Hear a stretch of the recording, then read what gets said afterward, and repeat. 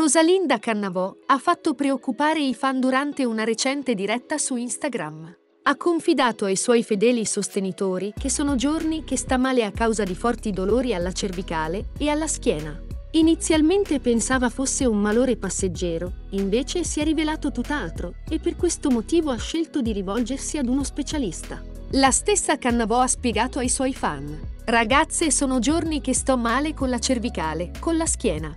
Non chiudo occhio da un po' di giorni, infatti si vede dalle mie occhiaie. Purtroppo non so veramente come trovare la soluzione. Oggi andrò da un fisioterapista probabilmente perché devo necessariamente farmi curare questo problema. Ha poi aggiunto. Tra l'altro Anna, la custode dove sta Andrea, mi ha fatto un massaggio con un prodotto straniero che dicono sia molto efficace. Vediamo se fa effetto, ha concluso Rosalinda. L'ex Geffina fa poi sapere ai suoi fan che presto comunicherà se ci saranno dei miglioramenti.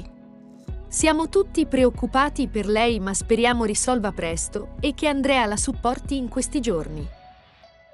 Per rimanere aggiornato sulle ultime notizie e curiosità del momento, iscriviti al canale e attiva la campanella.